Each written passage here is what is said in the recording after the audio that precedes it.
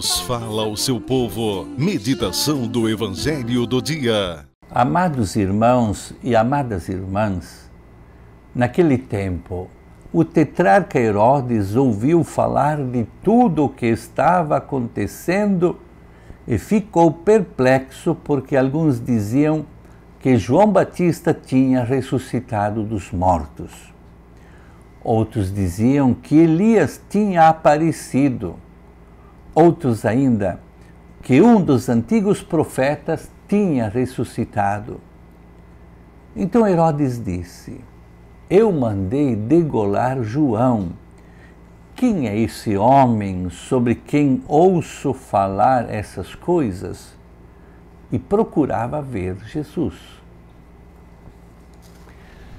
Queridos amigos e amigas, Jesus vem para realizar e propor uma mentalidade e, por isso, novo estilo de vida.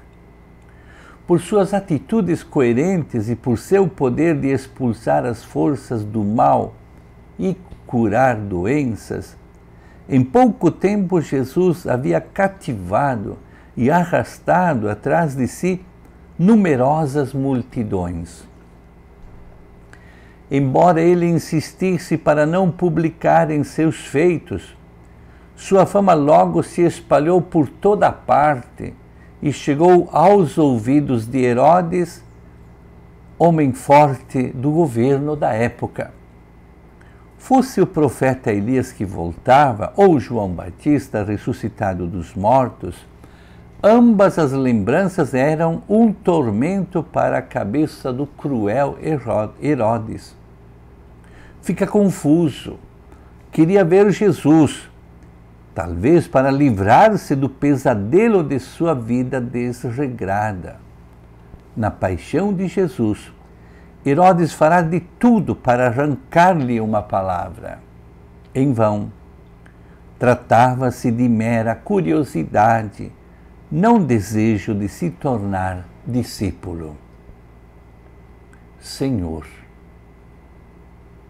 que sois sempre a presença do Pai no meio de nós, em reino e em pessoa, em palavra e em vida. Faze que nós também, desejadores de teu seguimento, pratiquemos o que tu nos testemunhaste. Amém. É